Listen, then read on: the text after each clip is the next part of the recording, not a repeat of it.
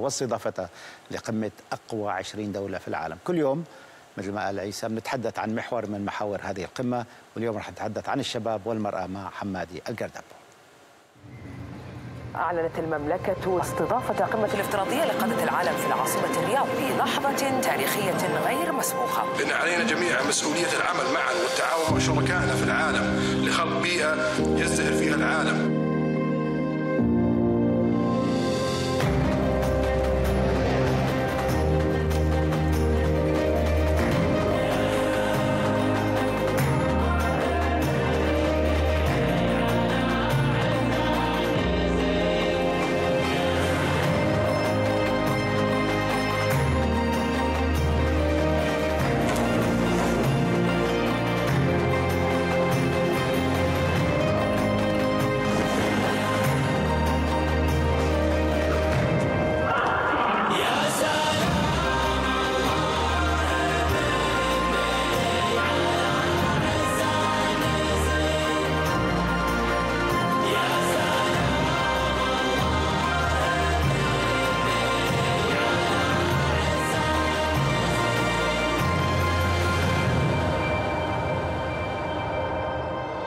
Bye.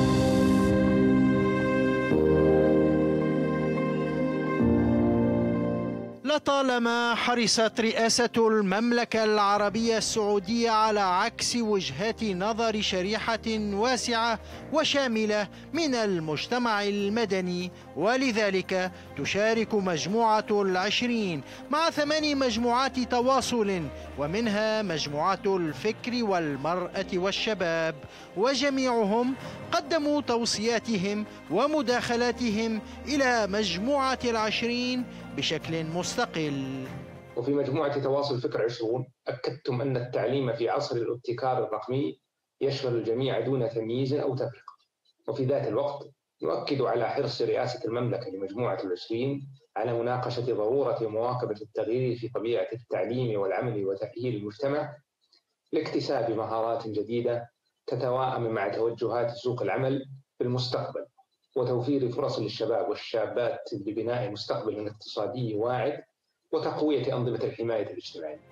خارطة طريق مجموعة العشرين للشباب واضحة واعدة فهي تهدف إلى تطوير التعليم ومهارات الشباب وهذا سيقود إلى تطوير سبل توظيفهم من خلال تعزيز فرص العمل ومعالجة البطالة.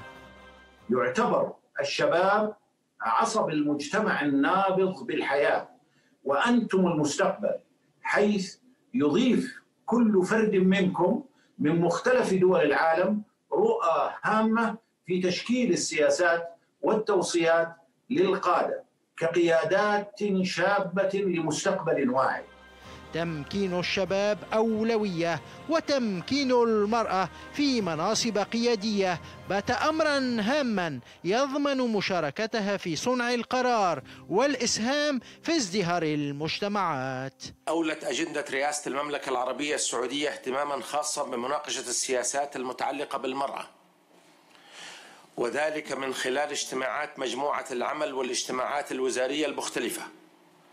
كما قد حرصت المملكة على ضمان مشاركة المرأة في صنع القرار من خلال مشاركة توصيات مجموعة تواصل المرأة المجموعة العشرين خلال تلك الاجتماعات.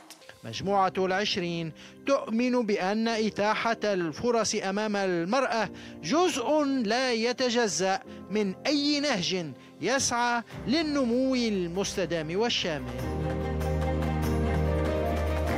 استضافة مجموعة العشرين تعد بمثابة شرف كبير وفخر للشعب السعودي وفرصة لإلهام العالم برؤيته.